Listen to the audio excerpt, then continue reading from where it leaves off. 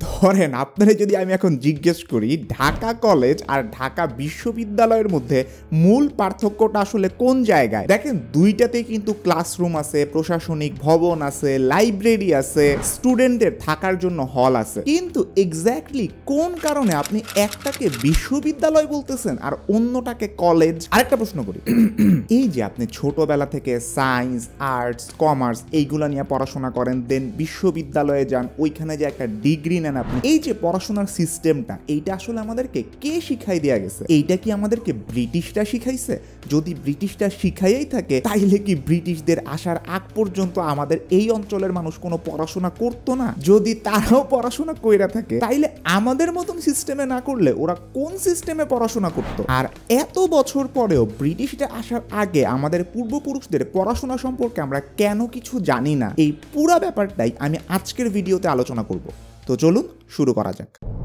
আপনি ছোটবেলা থেকে বাংলাদেশের শিক্ষা ব্যবস্থা নিয়ে যে সমালোচনাটা শুনছেন, বাংলাদেশের মানুষ শুধুমাত্র চাকরি পাওয়া, প্রেম করা আর কনসার্ট শোনার জন্যই মেইনলি ইউনিভার্সিটিতে যায়, গবেষণা করবে কিংবা জ্ঞান উৎপাদন করবে এই রকম কোনো উদ্দেশ্য কারোর থাকে না। তাইলে চলেন তো দেখি আমাদের এই উপমহাদেশীয় অঞ্চলে যখন প্রথম প্রথম ইউনিভার্সিটি প্রতিষ্ঠা করা হয়, তখন অবস্থাটা কি ছিল? আমাদের এই অঞ্চলে শুরুর দিকে তিনটা বিশ্ববিদ্যালয় প্রতিষ্ঠা করা হয়।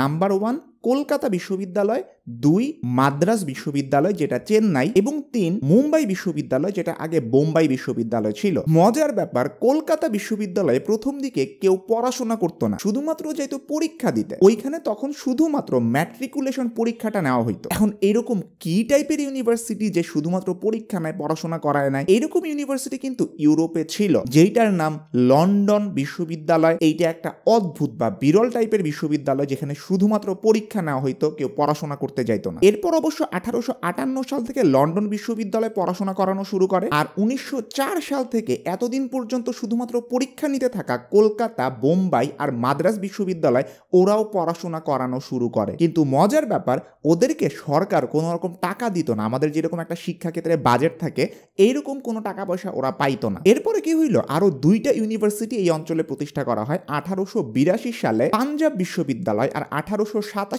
সালে এলাহাবাদ বিশ্ববিদ্যালয়। এর মধ্যে পাঞ্জাব বিশ্ববিদ্যালয় আবার বার্ষিক বা প্রত্যেক বছর তিরিশ হাজার রুপি পাইত। কিন্তু এই অঞ্চলে শিক্ষার মান তত একটা তখন ভালো ছিল না। এইটা নিয়ে লন্ডনে প্রচুর সমালোচনা শুরু হয়। আঠারোশো বিরাশি তিরাশি সালে আপনারা জানেন হান্টার কমিশন গঠিত হয়েছিল। ওরা ওদের রিপোর্টের মধ্যেও বলে, এই অঞ্চলের শিক্ষার মান কিন্তু ভালো হইতেছে না। হাতে গোনা কয়েকটা প্রশ্ন পড়ে পরীক্ষা পাশ করা যায়। এই সংস্কৃতি এই অঞ্চলের মধ্যে বেশিরভাগ ক্ষেত্রে প্রচলিত। এটা এখনও আমাদের সংস্কৃতিতে অনেকাংশেই আছে। পরে লর্ড কার্জন, যার নামে ঢাকা ইউনিভার্সিটির কার্জন হল আছে, উনি আঠারোশো আটানব্বই সালে উপমহাদেশের ভাইস রয় হয়ে আসেন এবং চিন্তা করেন, বস, চলো, আমরা এখন পুরো শিক্ষা ব্যবস্থাটা একটু পুনর্গঠন করি। তো উনি এসেই কিন্তু কলকাতা বিশ্ববিদ্যালয়ের সাথে অন্যগুলাকে শুধুমাত্র পরীক্ষা নেয় এইরকম কোনো ইনস্টিটিউশন না রাইখা ওইখানে পড়ানো শুরু করছিলেন। তবে পড়ানোর বিষয়গুলাতে ঝামেলা ছিল। ওই টাইমে ইভেন মার্কিন যুক্তরাষ্ট্রের মধ্যেও কৃষি বিদ্যা পড়ানো হইতো যেটা ভারতীয় উপমহাদেশের মধ্যে পড়ানো হইতো না, অথচ এই অঞ্চল কতটা কৃষি প্রধান আপনি চিন্তা করেন? আপনি হাসবেন শুরুতে এইসব জায়গায় কি পড়ানো হইতো? তিনটা সাবজেক্ট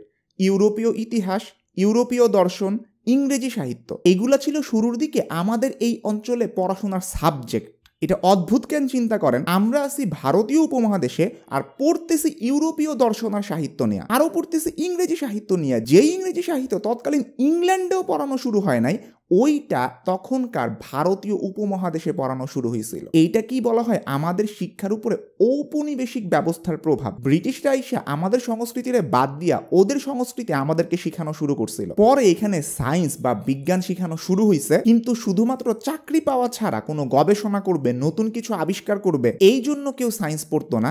সবাই চাকরি পাওয়ার জন্য সায়েন্স পড়তো। আঠারোশো নব্বই সালের মধ্যে ওই তিনটা ইউনিভার্সিটি থেকে ষাট হাজার জনের মতন শিক্ষার্থী সার্টিফিকেট পায়। ওদের তিন ভাগের এক ভাগই হইতেছে ওকালতি করতে চলে যায়। আঠারোশো সাতাশি সালের একটা জরিপ মতে, তখনকার মিডল রেঞ্জের যে সরকারি কর্মচারীরা ছিল, প্রায় একুশ হাজার জন, তার মধ্যে একাত্তর পার্সেন্ট এই বিশ্ববিদ্যালয়গুলো থেকে ম্যাট্রিকুলেশন পাশ করছে আর বাকি উনত্রিশ পার্সেন্ট ইউরোপ থেকে পড়াশোনা করে আসছে। এই একাত্তর পার্সেন্টের মধ্যে আবার হিন্দু ছিল পঁয়তাল্লিশ পার্সেন্ট মুসলমানদের সংখ্যা একটু কম ছিল মাত্র সাত পার্সেন্ট আর ইউরোপিয়ান ছিল উনিশ পার্সেন্ট তখনকার সময়েও বাংলার মা বাবাদের একটাই উদ্দেশ্য ছিল যে ছেলে ছেলে পরীক্ষা পাশ করে একটা সরকারি চাকরিতে জয়েন করবে এবং ঔপনিবেশিক শিক্ষা ব্যবস্থা এইভাবেই তাদেরকে গইরা তুলতেছিল। একটা ছোট্ট ইনফরমেশন দিয়ে নেই আরোগ্যকে অসংখ্য ধন্যবাদ এই ভিডিওটিতে পৃষ্ঠপোষকতা প্রদানের জন্য। আপনি কি জানেন, এখন থেকে ঘরে বসেই দেশের যে কোনো প্রান্ত থেকে ঔষধ সহ যাবতীয় হেলথ কেয়ার প্রোডাক্ট অর্ডার করতে পারবেন আপনি আরোগ্য অ্যাপে। আরোগ্য একটি হেলথ কেয়ার প্ল্যাটফর্ম যেখানে প্রতিটি ঔষধের বিস্তারিত বিবরণ জেনেরিক অনুযায়ী বিকল্প কোম্পানির ঔষধের বিবরণ ও দাম সম্বলিত সঠিক তথ্য জানতে পারবেন। এছাড়াও প্রতি অর্ডারের সাথে থাকছে আকর্ষণীয় ডিসকাউন্ট ক্যাশব্যাক এবং ফ্রি হোম ডেলিভারি সারা দেশ জুড়ে। অ্যাপটি ইনস্টলের সাথে সাথে চল্লিশ টাকা বোনাস পেতে চাইলে অ্যাপটি ইনস্টল করুন ডেসক্রিপশন বক্সের লিঙ্ক থেকে। অথবা অ্যাপ স্টোরে গিয়ে সার্চ করুন আরোগ্য এই লিখে এবং সেক্ষেত্রে বোনাস পেতে অ্যাপের রেফার বক্সে এনায়েত এই কোডটি ব্যবহার করুন। এখন মূল ভিডিওতে ফেরত আসি। ঢাকা বিশ্ববিদ্যালয় কিন্তু প্রতিষ্ঠিত হয়েছে তারও অনেক পরে, প্রায় উনিশশো একুশ সালে। এরপরে তো বাংলাদেশে আরও বিশ্ববিদ্যালয় আসে, কিন্তু সব বিশ্ববিদ্যালয়েরই গোড়াতে ওই প্রবলেমটা ছিল যে সবাই চাকুরিজীবী উৎপাদন করতেছে। আগে ছিল আইসিএস এখন হয়েছে বিসিএস এই ধরনের ক্যাডার উৎপাদন করাই দেখা গেছে বিশ্ববিদ্যালয়ের লক্ষ্য হয়ে গেছে। গবেষণা বা নতুন কিছু উদ্ভাবন করা, এইটা অনেকটা আলংকারিক একটা বিষয় হয়ে দাঁড়াইছে। গবেষণা মানে হইতেছে নতুন জ্ঞান তৈরি করা। এখন আইজ্যাক নিউটন যদি শুধুমাত্র চাকরি করার জন্য ইউনিভার্সিটিতে যাইতো, তাইলে ওর মাথার উপরে একটা আপেল পড়ছে পরে সে ওইটা সুন্দর মতন খাইতে খাইতে বাসায় চলে যেত। এই আপেলটা কেন তার মাথার উপরে পড়ছে আর এইটা থেকে গ্র্যাভিটেশন বা মাধ্যাকর্ষণ আবিষ্কার করা, এইটা আর তার পক্ষে সম্ভব হইতো না। এখন একটা মজার ব্যাপার যে চাকরি করা বা বিসিএস এ পাশ করার জন্য শুধুমাত্র ইউনিভার্সিটিতে পড়াশোনা করা লাগবে। এই ধারণাটা কি শুধুমাত্র বাংলাদেশেই ছিল। এইটা একটা ভুল ধারণা। আমেরিকার ক্ষেত্রে চিন্তা করেন বেঞ্জামিন ফ্রাঙ্কলিনের কথা। উনি জন লকের দ্বারা অনেক অনুপ্রাণিত ছিলেন। উনার মতে আমাদের তরুণদেরকে এমন শিক্ষাই দিতে হবে যেইটা সম্পর্কে পড়াশোনা করে তারা পরে একটা চাকরি অ্যাটলিস্ট নিতে পারে। এটাকে প্রায়োগিক শিক্ষা বলতেছি। ফ্র্যাঙ্কলিন কিন্তু এই উদ্দেশ্য থেকে সতেরোশো পঞ্চাশ সালে পেনসিলভানিয়া ইউনিভার্সিটি প্রতিষ্ঠা করেন। এর আরও পরে আঠারোশো বাষট্টি সালে আব্রাহাম লিঙ্কন উনি একটা নতুন অ্যাক্ট জারি করেন। ওই সময় যুক্তরাষ্ট্রে গৃহযুদ্ধ চলতেছিল। তো শিক্ষা ব্যবস্থার অবস্থা কিন্তু খুবই খারাপ। তো যুক্তরাষ্ট্রের প্রত্যেক সিনেটর বা সংসদ সদস্যকে এইটা বইলা দেওয়া হয়েছিল যে আপনি আপনার এলাকার তিরিশ হাজার একর জমি যেটা গভর্নমেন্টের আন্ডারে ওইটা বিক্রি করে দিতে পারেন দেন ওই টাকাটা শেয়ার মার্কেট কিংবা অন্য কোনো জায়গাতে আপনি ইনভেস্ট করবেন যেখান থেকে প্রত্যেক বছর অ্যাটলিস্ট পাঁচ পার্সেন্ট লাভ আসবে। এই টাকাটা দিয়ে আপনি নতুন একটা কলেজ দেখভাল করবেন কিংবা প্রতিষ্ঠা করবেন। এই যে জমি বিক্রি করে যেই ইউনিভার্সিটিগুলো তৈরি করা হয়েছে এইগুলাকেই বলা হইতো ল্যান্ড গ্র্যান্ড ইউনিভার্সিটিস এবং এইভাবে প্রায় কয়েক হাজার শিক্ষা প্রতিষ্ঠান তৈরি করা হয়েছিল এবং এইটা যে অধ্যাদেশের মাধ্যমে করা হয়, সেইটার নামে কিন্তু হচ্ছে মরিল অধ্যাদেশ বা মরিল অ্যাক্ট। একটা সময় ইউনিভার্সিটিগুলোতে শুধুমাত্র বড় লোকদের পোলাপানি পড়াশোনা করত, এই ল্যান্ড গ্র্যান্ট ইউনিভার্সিটিগুলো হওয়ার পরে কৃষকের সন্তান, শ্রমিকের সন্তান সবাই ইউনিভার্সিটিতে পড়ার সুযোগ পায়, যেহেতু কম টাকায় পড়া যেত এবং ওরা ওইখান থেকে বের হয়ে কিন্তু অনেক চাকরিতে ঢুকতো। সুতরাং আমেরিকারও কিন্তু ইউনিভার্সিটি শুরুটা হয়েছিল এই চাকুরিজীবী উৎপাদন করার লক্ষ্যেই। ওদের প্রথম যে ইউনিভার্সিটি যেটা গবেষণাকেও প্রাধান্য দিছে, ওইটা হইল আঠারোশো ছিয়াত্তর সালে প্রতিষ্ঠা করা, যার নাম জন হপকিন্স ইউনিভার্সিটি। খুবই বিখ্যাত। আমারও যাওয়ার ইচ্ছে আছে, কিন্তু জীবনে কোনোদিন যাইতে পারব না। শুধু এইটা না, আপনি মধ্যযুগে বিশ্ববিদ্যালয়ের পাঠ্যসূচির মধ্যে আসেন, দেখবেন চারটা অনুষদ আছে। পড়ানো হইতো আইন, ধর্মতত্ত্ব চিকিৎসা অর্থাৎ মেডিকেল এবং কলা বা আর্টস। এর মধ্যে ধর্মতত্ত্ব, চিকিৎসা আর আইন বিষয়ে পড়াশোনা করে যেহেতু মানুষ চাকরি পাইতো এইগুলোকে উচ্চতর ধারা বলা হইতো। আর কলা বা আর্টস, এইটা পড়ে কেউ কোনোদিন চাকরি পায় নাই। এই কারণে এটাকে নিম্ন ধারা বলা হইতো। বারোশো বিশ সালের আগেই কলা বা আর্টস পড়াশোনা করার কিন্তু প্রচলন ছিল। আপনারা এখনও যে চিন্তা করেন না? যে দর্শন পড়ে কি হবে? পালি ভাষা শিক্ষা করে কি হবে? এটা শুধু আজকের সমস্যা না, এইটা সেই মধ্যযুগ থেকেই ছিল। এইখান থেকে কিন্তু আরেকটা প্রশ্ন দাঁড়ায় যে ব্রিটিশরা আসার আগে আমরা কি এই জায়গায় পড়াশোনা করতাম না? আমাদের কি কোনো নিজস্ব বিশ্ববিদ্যালয় ছিল না? যদি থাকে তাইলে সেখানে কি পড়াইতো? অবশ্যই ছিল। একটা একটা করে বলি। বিতর্ক সাপেক্ষে পৃথিবীর প্রাচীনতম বিশ্ববিদ্যালয়ের নামটা হচ্ছে নালন্দা আর এইটা আমাদের এই ভারতবর্ষের মধ্যেই অবস্থিত। আনুমানিক চতুর্থ শতকের দিকে এই নালন্দা বিশ্ববিদ্যালয় প্রতিষ্ঠা করা হয়, যেটা মগধে, যেটা ভারতের বিহার রাজ্যের অন্তর্গত। এরপরে আনুমানিক অষ্টম শতকের দিকে বিক্রমশিলা, সোমপুর আর ওদন্তপুরে প্রতিষ্ঠা করা হয়। এর মধ্যে সোমপুর কিন্তু বাংলাদেশের পাহাড়পুরে অবস্থিত। এইগুলো প্রতিষ্ঠা করেন ধর্মপাল। পর্যটক হিউয়েন সাং এর ভ্রমণ কাহিনী থেকে এই বিশ্ববিদ্যালয় বিশ্ববিদ্যালয়গুলো সম্পর্কে অনেক তথ্য পাওয়া যায়। আনুমানিক সপ্তম শতকের দিকে নালন্দা বিশ্ববিদ্যালয় ওদের একদম পিকে ছিল। ধারণা করা হয় ওই সময় নালন্দায় প্রায় দুই হাজার শিক্ষক ছিল আর দশ হাজার শিক্ষার্থী ছিল। হিউয়েনসাং যখন গেছেন, তখন ওইখানে প্রায় ছয় হাজারের মতন শিক্ষার্থী ছিল। ওই সময় কোরিয়া, জাপান, চীন, তিব্বত, ইন্দোনেশিয়া, এমনকি তুরস্ক থেকেও মানুষ এই নালন্দা বিশ্ববিদ্যালয়ে পড়াশোনা করতে আসতো। আর এখন চিন্তা করেন, আমরা ওদের এখানে পড়াশোনা করতে যাই। তখনকার সময় ইউনিভার্সিটি র্যাঙ্কিং করা বেশি দরকার ছিল। সাবকন্টিনেন্টের ইউনিভার্সিটিগুলো সব নাম্বার ওয়ানে থাকতো। ওইগুলো ছিল তখনকার এমআইটি হার্ভার্ড আর অক্সফোর্ড। চিন্তা করেন আমাদের সিএম শহীদ নূর এইটা নিয়ে ভিডিও বানাইতেছে, কীভাবে নালন্দা বিশ্ববিদ্যালয়ে ভর্তি হইতে পারবেন? আমার এই জিনিসটা চিন্তা করা কেমন জানি অকওয়ার্ড লাগতেছে। ওই সময় নালন্দায় তিনটা লাইব্রেরি ছিল।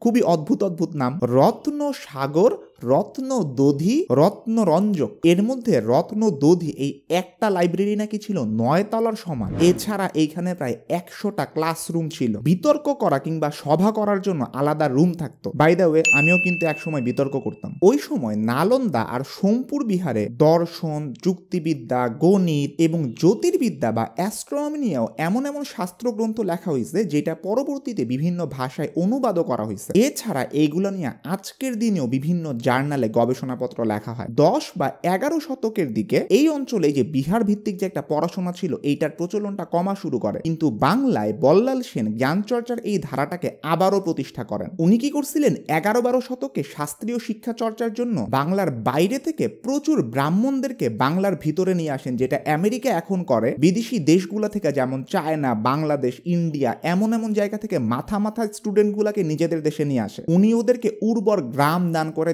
দিছিলেন যে, তোমরা ভালো মতন থাকো, তোমাদের যাতে কোনো অসুবিধা না হয়। পরবর্তীতে যখন নবাবী আমল আসে, যখন মুসলমানরা আসে, তখন শাস্ত্রীয় চর্চার ক্ষেত্রে এই উপমহাদেশ একেবারে কেন্দ্রে বা সেন্টারে বা একদম পিকে উঠা যায়। এই ক্ষেত্রে মুসলমান শাসকদের একটা বড় অবদানও ছিল। আমি জানি আপনি খুশি হয়ে গেছেন, কিন্তু আঠারো শতকের শেষ দিকে বাংলার শিক্ষা ব্যবস্থা একটু খারাপের দিকে যায়। তখন নবদ্বীপ, যেটা নদিয়ার একটা টাউন, ওইখানে শিক্ষক শিক্ষার্থী সংখ্যা কমতে থাকে। যেমন ষোলোশো আশি খ্রিস্টাব্দে ওইখানে ছাত্র ছিল চার হাজার, অধ্যাপক ছিল ছয়শো ফাস্ট ফরওয়ার্ড সতেরোশো একানব্বই সাল, ছাত্র কইমা হয়েছে মাত্র এগারোশো, অধ্যাপক ছিল মাত্র চারশো জন, আঠারোশো সাতষট্টি সালে এইসব ছাত্র ছিল মাত্র একশো পঞ্চাশ, আর অধ্যাপক তো আর নাই বললাম বহুত কম। এইভাবে আস্তে আস্তে ঐতিহাসিকভাবে আমাদের শিক্ষা ব্যবস্থাটা দুর্বল হইতে থাকে। আমাদের এই অঞ্চলের শিক্ষা ব্যবস্থা নিয়ে রবীন্দ্রনাথ ঠাকুর একটা খুব সুন্দর কথা বলছেন। বিশ্ববিদ্যালয় চিরদিনই বিলেতের আমদানিকৃত টবের গাছ হয়ে থাকবে, সে টব মূল্যবান হতে পারে অলঙ্কৃত হতে পারে, কিন্তু গাছকে সে চিরদিনই পৃথক করে রাখবে ভারতবর্ষের মাটি থেকে। বিশ্ববিদ্যালয় দেশের শখের জিনিস হবে প্রাণের জিনিস হবে না। রবীন্দ্রনাথ ঠাকুরের লেখা, মোট কথা, আমরা যে পড়াশোনা করতেছি, এর সাথে আমাদের ভারতবর্ষের যে যোগসূত্রটা থাকা দরকার ছিল, ওইটা আমাদের এখানে নাই, কারণ সিস্টেমটাই হইতেছে ইউরোপ থেকে আমদানি করা, ব্রিটিশরা আমাদেরকে দিয়ে গেছে। প্রথমেই বলে রাখি, আজকের এই ভিডিওটা সৈয়দ নিজার স্যারের বিশ্ববিদ্যালয় উদ্ভব, বিকাশ ও বি উপনিবেশায়ন, এই বইটার উপরে বেস করে করা। আমি নিচে লিঙ্ক দিয়ে রাখছি, আপনারা চাইলে বইটা পড়ে আসতে পারেন, যদিও এখন প্রকাশনীতে এটার মুদ্রিত কপি নাই। আমি লাকি ছিলাম, পায়া গেছি। আজকের এই পুরো ভিডিওতে আমি মূলত দেখানোর চেষ্টা করছি তিনটা জিনিস। এক, শুধুমাত্র চাকরি পাওয়ার জন্যই আমি পড়াশোনা করব। কোনো ধরনের রিসার্চ বা গবেষণাতে আমি যাব না। এই ট্রেন্ডটা শুধুমাত্র এখনকার দিনেই না, আমাদের উপমহাদেশে যখন শিক্ষা ব্যবস্থা চালু হয়েছে ঠিক তখন থেকেই ছিল। দুই, এই ট্রেন্ডটা শুধুমাত্র উপমহাদেশের মধ্যেই না, এমনকি আমেরিকা কিংবা ইউরোপের মধ্যেও এই ট্রেন্ডটা প্রচলিত ছিল। কিন্তু ওরা পরবর্তীতে গবেষণা কেন্দ্রিক বিশ্ববিদ্যালয় প্রতিষ্ঠা করছে এবং অনেক আগায় গেছে গবেষণা এবং উদ্ভাবনের ক্ষেত্রে যেটা আমরা এখন পর্যন্ত পারতেছি না বাট আমরা চেষ্টা করতেছি। এবং তিন, ব্রিটিশরা আসার আগেও আমরা যে আসলে পড়াশোনা করতাম, একেবারে গরু গাথা ছিলাম না। এই ব্যাপারটা নালন্দা কিংবা সোমপুরের এক্সাম্পল দিয়ে ব্যাখ্যা করলাম। সো আজকের ভিডিও এ পর্যন্তই। শিক্ষা ব্যবস্থা নিয়ে ভিডিও বানানোর আপনাদের অনেক অনেক রিকোয়েস্ট ছিল। এইটা তার একটা ভিডিও আমি সামনে শিক্ষা ব্যবস্থা নিয়ে আরও অনেক ভিডিও বানাবো বলে প্ল্যান করছি। আশা করি খুব শীঘ্রই আপনারা সেগুলো হাতে পাবেন। আমি সাধারণত প্রতি বুধবার বিকেল পাঁচটায় ভিডিও আপলোড করে থাকি। তবে আমি জানি এইটা আসলে আপনি বুধবারে পান নাই। কারণ বুধবারে আমি ঢাকার বাইরে আছি, তার পরের দিন আমাকে আপলোড দিতে হইতেছে। মনে কষ্ট নিয়েন না, আবারও বুধবারে ভিডিও আসবে। সবাই ভালো থাকবেন, সুস্থ থাকবেন। দেখা হবে ইনশাল্লাহ পরবর্তী বুধবার বিকেল পাঁচটায়। আল্লাহ হাফেজ।